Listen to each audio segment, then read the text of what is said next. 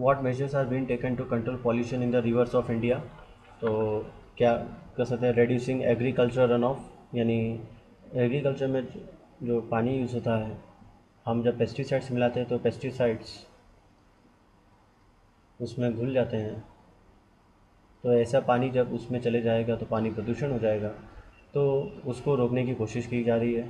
Preventing और treating industrial discharge industry से जो पानी निकलता है, उसको पहले ट्रीटमेंट की जाती है। ट्रीटमेंट यानी जितना संभव हो सके, उसको प्योरीफाई करने की कोशिश कर सकते हैं। प्योरीफाई मीन्स ड्रिंकेबल पोर्टेबल ऐसा नहीं कह रहा हूँ। लेकिन जितना संभव हो सके उसमें पॉल्यूटेंट्स जितने हैं, वो हार्मफुल पॉल्यूटेंट्स लीड वगैरह जो भी हैं, वो निकाल लिया जाए। नेक्स्ट प्रिवेंटिंग और treating municipal sanitary sanitary sewage discharges medical से जो निकलते हैं हॉस्पिटल्स uh, वगैरह से वो डिस्चार्ज प्रिवेंटिंग और treating wastes led into the river water in religious practice like Ganpati festivals Ganpati festivals में जो निर्मलाइज बोलते शायद वो अपन हार्मफुल वगैरह ईश्वर को चढ़ाते हैं ना? तो वो सब भी देखिए आप गणपति विसर्जन तालाब के आसपास जाएँगे तो वहाँ पर सब निकाल लेते हैं। Next preventing practices like washing clothes and animals uh, passing uh, animals dead bodies in rivers etc जैसे आप uh, वाराणसी चले जाए तो वहाँ पे देखेंगे डेड बॉडीज़ को इंसानों की डेड बॉडीज़ को भी पानी में फेंक दिया जाता है। तो भी एक प्रदूषण है। तो ये सब रोकने का लोगों को एजुकेट करने के लिए कोशिश की जा रही है। Next characteristics of the characteristics of the north east plain north east plain की कैरेक्टरिस्टिक्स क्या है? First one the north east plain lies between Himalaya mountains in the north and peninsula in the south तो ये north east north north Indian plain है. North Indian plain तो ये north side हो गया साउथ साइड तो south side में क्या है? साउथ साइड में पेनसुला है और नॉर्थ साइड में हिमालय है. It extends from Rajasthan and Punjab in the west to Assam in the east तो इसके वेस्ट में ये प्लेन के वेस्ट ये नॉर्थ हो गया साउथ हो गया वेस्ट हो गया और ईस्ट हो गया। तो वेस्ट में क्या है इसके? वेस्ट में हमको राजस्थान और पंजाब मिल जाएगा और ईस्ट में क्या मिल जाएगा? आसाम मिल जाएगा। It is mostly a flat and low lying area ये फ्लैट एरिया है और लो लाइंग एरिया है। और the north Indian plain are divided into two parts अब इसको दो पार्ट में हम डिवाइड कर सकते हैं। हम्म, तो दो पार्ट कैसे डिवाइड सकते हैं? तो डिवाइड क्या आएगा? बीच में अरावली माउंटेन्स का डिवीज़न आएगा। तो डिवीज़न आएगा अरावली माउंटेन्स अरावली माउंटेन्स तो अरावली माउंटेन्स के जो ईस्ट में है ईस्ट में इस तरफ़, इसको बोलते हैं Ganga planes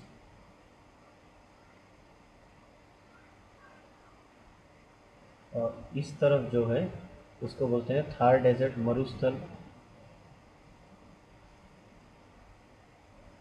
It lies to the east of the Aravalli it lies to the west of the Aravalli the slope of the plain is towards the east इसका स्लोप किधर है ईस्ट की तरफ़ स्लोप है the slope of the west toward the west इसका slope west की तरफ़ है आप ऐसे समझ लो प्लेन इस तरफ़ जा रहा है और यार प्लेन इस तरफ़ जा रहा है ऐसा स्लोप ऐसा है the Sundarbans the world largest delta form by river Ganga and Brahmaputra is found in west Bengal state of India most of Rajasthan is occupied by Thar desert to the north of the desert is the place of Punjab because the soil is very fertile agriculture is largely practiced in this region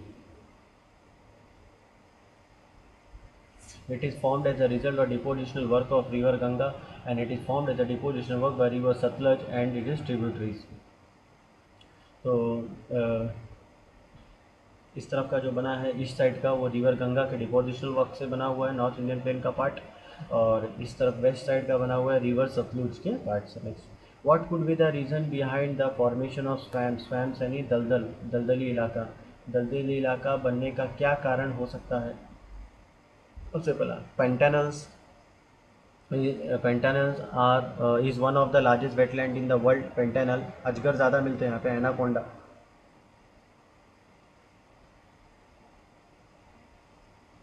it is towards the southwest part of the highland areas. The source region of Paraguay slopes towards the south while the source region of Parana slopes towards the southwest. So due to the deposition of sediments, erosion residues and collection of water, there is the formation of swamps in the extensive in the continental location of the pantanal. तो यहाँ पे deposition ज़्यादा हो रहा है इसलिए यहाँ पे आपको सेडिमेंट्स ज़्यादा मिल रहे हैं ठीक है तो साउथ वेस्ट में है तो पैरावे का भी यहीं पे आ रहा है सोर्स रीजन पैराना का भी यहीं आ रहा है। तो ये पेंटनल यहाँ पे है। तो इसमें क्या हो रहा है, यहाँ पे सेडिमेंट्स भी डिपॉजिट हो रहा है, साथ ही साथ पानी भी आ रहा है। तो जिस कारण यहाँ पे क्या बन रहा है swamps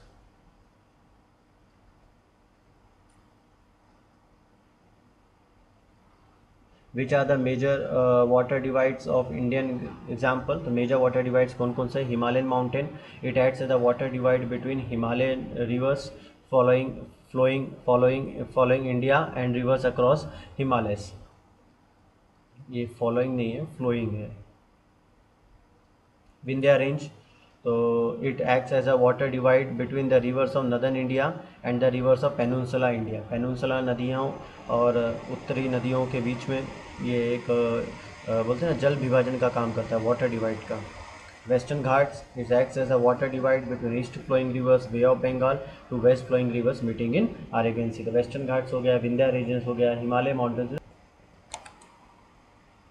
अब अब एक्स्ट्रा में एक देख लेते हैं, ये बोर्ड क्वेश्चन आ चुका है। लक्षद्वीप आइलैंड और अंडमान निकोबार आइलैंड्स ये अरेबियन सी में है, ये बे ऑफ़ बंगाल में है।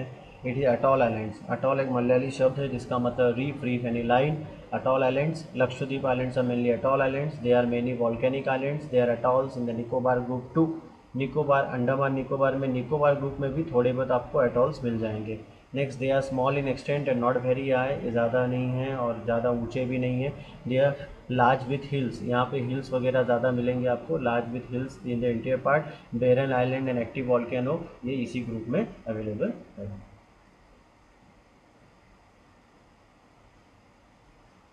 धन्यवाद। जय हिंद।